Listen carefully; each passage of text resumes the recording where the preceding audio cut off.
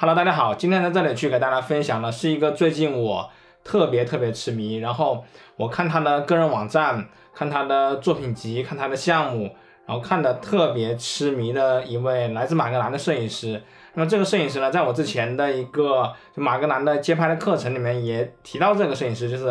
呃 Mark Power。然后这个摄影师其实一开始我其实也呃看过他的东西，然后也学过他的东西。但是那个时候并没有就是像今天一样的看的这么仔细。那个时候呢，我看 Bruce Gilden 啊，看 Alex Webb 啊，看 David Hen 啊，看其他的一些摄影师会更多。因为那个时候我去看他的作品的时候呢，我不觉得他的作品有什么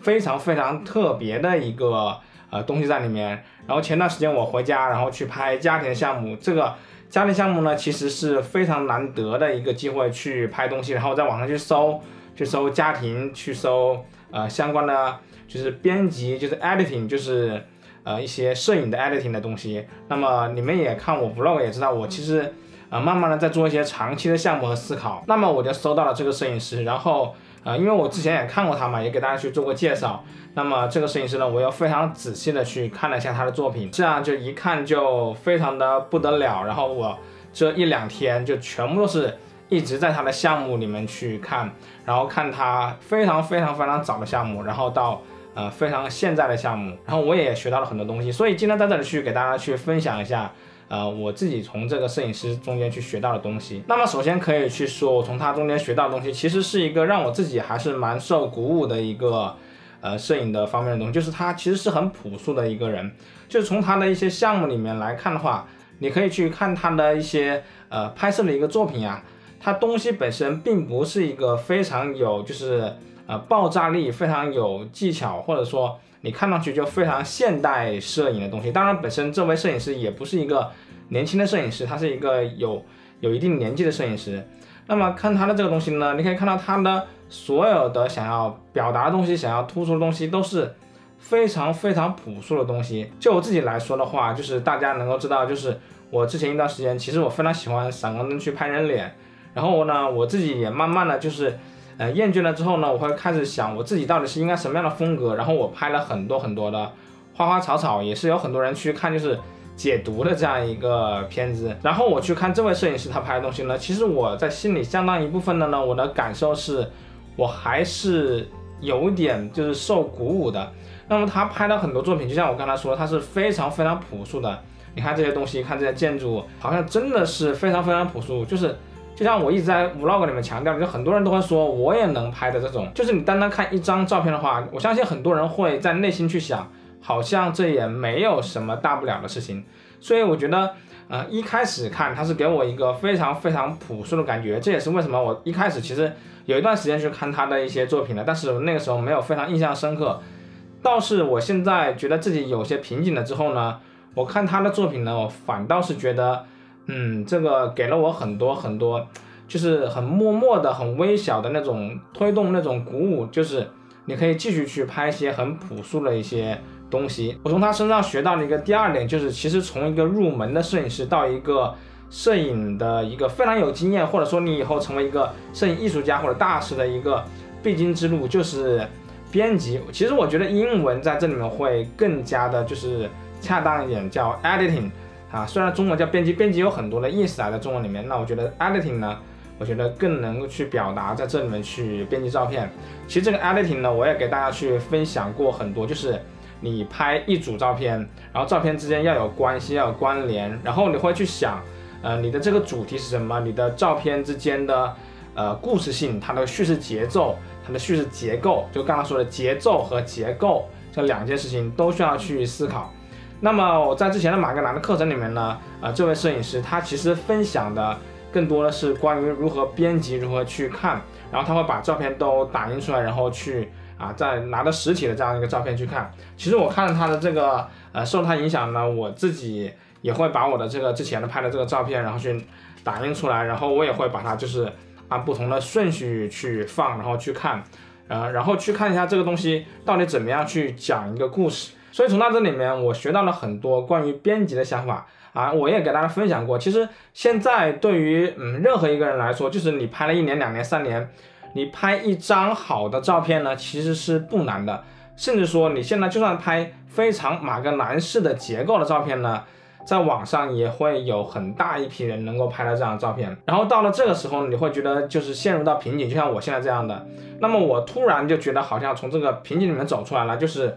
我非常专注在去描述一系列的事情上面去。就之前我给大家去分享了，我去在家里去拍，就是我爸妈呀，然后我的家人，就中秋节那个，然后在 vlog 里面你可以看到这样一张照片一张照片的过去。其实这并不是一个编辑一个 editing，其实我在自己的呃个人的博客里面呢，我会去把这个照片有顺序的，就是呃列下来，就其实也是像就真正的艺术家、真正的摄影师他的个人网站中去呃筛选作品。然后我自己也会把它当成是一个就是参赛的一个作品，虽然它不是一个参赛作品，但是我把它当成一个就是参赛的一个叙述性的一个东西。那别人看到你的作品的时候，他的第一个感觉是什么样的？他的就是呃一个整体的一个故事性是什么样子？这个是非常非常需要你去考虑的。那么值得一提的就是，如果你看他的网站，你是一张一张单张照片去看的话，比如说这张照片，你看你会觉得。我也能拍，而且这张照片确实没有什么，就是特别不出彩，可以这么说。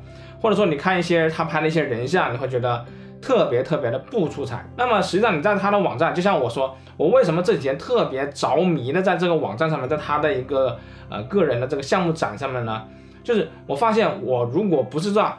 一整屏的去扫描的话，然后去点一张照片好了看的话，如果我是从第一张照片就是开始左右去切换，我一张一张去换，一张一张去换的时候。我就会发现这里面的故事性是非常非常有意思的。那么他拍的这里面这些东西呢，我觉得很多时候就一开始啊，你会看他的，特别是这一套作品啊，我非常喜欢，就是一开始你会发现这里空无一人，就是就好像没有人，好像是废弃了一样的。然后慢慢的呢，你就会发现，哎，在大图里面有些就是人出来了，就是一开始是非常非常静态的东西，然后到了中间的时候，你会发现有动态的东西出现了。就好像在一个森林里面，就是非常非常安静的森林，什么声音都没有。突然这个鸟的声音就出来了，突然这个啊风吹的沙沙的声音就出来了。就这种从无到有，这种你去感觉到它的这种感觉啊，就是他想表达这个东西，它这个节奏会让你非常非常的舒服。所以我现在就不会去扫整个它的所有的照片，然后哎这张好像不错，这张结构不错，然后点进去看一下啊这样哎，然后这张为什么它就拍的无所谓的东西就是。为什么能当做一个不错的照片放到展里面呢？就不会有这样的一个操作了。相反，我现在就是说，哎，我从它的第一张开始看，然后慢慢的去看这个照片里面有什么东西，它给我的感觉是什么，然后放到下一张，然后放到下一张，放到下一张，哦，有动态的东西出来了，有人出来了，哎，我觉得很有意思。所以我觉得整个它的编辑是让我觉得非常非常出彩，非常非常有故事性，甚至说看他有的作品的时候，我会觉得。真的在像读一本小说，所以呢，当我整个流水般的看他照片呢，我就会觉得，嗯，他的单张的照片就是拍的不错，然后他整体的节奏也是非常不错。所以呢，我想说的是，我们不仅仅要看他的编排，他的 editing 是非常棒的，你就光看他的单张照片也会觉得，嗯，这也是非常非常不错的一张照片。我发现他会拍一些非常非常糖水，就是背景非常非常虚幻的一个。具体的一个事情，比如说拍一个就是花呀，或者拍一个山呀，或者拍一个灯泡之类的东西。但是你会发现，它在编排的时候，它会把两个非常有关联性的，它的呃 shape 呀，就是外形呀，就是这个形状啊，包括它的关联性会放在一起，你会觉得，哎，这件事情好像真的还是蛮好玩的，把这两个照片就是对比在一起。所以呢，从这位摄影师里面呢，我觉得他不管是单张照片。啊，包括整体的编排，包括他的拍摄中，他把这个拍摄的这个场景和之前拍的场景，然后再对比的去展出，所有的这些呢，都是让我得到了非常非常大的启发。然后还有值得一提的一点呢，就是 Mark Power 呢，他其实应该是跟富士合作吧，马格南和富士合作拍了一个就是关于家庭的项目。然后他在这个项目里面呢，他去呃聊了很多他在家附近怎么去拍，因为家附近你所有东西都非常非常熟悉，相反是非常难。然后怎么去拍家人？怎么去沟通，然后怎么去做一些处理，然后在这个里面呢，我会把这个视频放到这个描述里面，也可以放到这个地方，然后里面去看，呃，他是怎么去去讲他自己拍摄的，还有怎么去讲他自己和家人的一些关系，跟家周围的这些建筑啊一些细节的关系，然后它里面让我最深刻的，也是我刚才也跟大家分享了，他是如何去编排这些东西。他把什么东西去放在一起？他怎么去想象？就是人事他们之间的关系，所以我觉得他整体的这个作品，当我看到他摆在桌上去一个一个去挑，他把这两个照片放在一起，或者是打乱的时候呢，其实我觉得还是会有一点震惊，就是说我们在拍摄的过程中，我们对于本身的叙述真的是呃追的太少了，我们更多是拍了一张好的照片。所以呢，看到 Mark Power 的作品了之后呢，我就会开始想，我在出去街拍的时候呢，我要开始从某些细节去描述我的生活，描述我对这个。世界的一些看法，所以呢，我会想，我尽量的不要去拍人，我去拍一些就是细节的东西，拍一些平时我忽略的东西，甚至说我加一些糖水的东西在里面，和事情产生一些节奏啊，还然后产生一些这种叙事性的东西。那么我出去拍那些东西的时候呢，我发现从这个照片上面来看，他拍这些东西是很容易的啊，从照片上面来看，但是在我的实践中呢，我发现。真的很难，就是你要在一个拍摄，在一个画面里面呢，所有东西都非常完美，都井然有序的按照你的安排去放在这个地方，其实真的很难。就是比如说我拍这个的时候呢，我觉得我应该可以去拍摄这样的一个细节的东西，然后拍摄它横平竖直的摆在那个地方。但是当我去看到的时候呢，我觉得它可能有点太过于满了，或者它的颜色，或者它的其他东西。好像是一个横平竖直的一个东西，好像是我在模仿他的手法在拍摄。实际上，你看这样一个拍摄的结果根本就不是我想要的。另外一点就是，我发现他的拍摄中很多是从生活的细节里面去拍摄，比如地上的一个轮胎，地上的一个啊丢弃的垃圾什么之类的，我也去从他这里去拍摄。然后我拍摄的时候，我更多是从这种没有人，就是不会有人出现的这种非常非常静态的一个角度去拍摄。拍照的时候呢，也会有更多非常的结构的性的东西在里面，但是我发现真的是非常非常的难去把握到这样一个度。比如说你想拍这个东西的时候，你会发现它的整个的结构还是不错的，它前面有荒草，后面有非常有意思的就是非常穿插的就是中国的那种老的那种呃墙，但是你会发现它的背后啊有那个背景那个洞啊穿过去了有背景，你会觉得这个东西就是不能拍的，你会觉得这个拍进去了之后呢？并不是说你想要虚化，把它虚化掉就可以了，而是说如果这个背后它是一个非常空的东西是更好的。你可以想象一下，想象一下这个背景就完全是全白的，然后有个草，然后有一个这个啊墙在这个地方，肯定会比这样一个后面有虚化的、有各种楼的样子的照片要好很多。所以呢，看到这一点了之后呢，我就觉得就不要拍这个地方了，然后我就去找，然后去找下一个能够给我就是节奏感觉的东西，然后我就去看这些照片，真的去拍。然后我想到之前我那个墙，哎，发现这个地方有一个墙，它这个墙要比之前要更不错，因为它背后是一个堵死了，那么它的整个的呃样子应该是不错的。然后我看了之后呢，我觉得我也许可以像这样的去拍摄，那这样拍摄有点普通，它是一个就是菱形吧。然后我就把它往下挪了一点，然后我觉得可能是一个三角形会更好一点，就是比菱形要更好一点，因为所有人都能想到菱形，但是我这样去拍。然后下面留出一些就是长方形，也许是更好的一个东西，但是我也不知道。然后我就把它去拍摄出来。然后在这个过程中，我去反思，我并不是说这张照片是好的照片啊，我只是说在反思，我在这个街拍的过程中呢，我去让所有的东西都非常完美的在一个它应该在的地方去停着，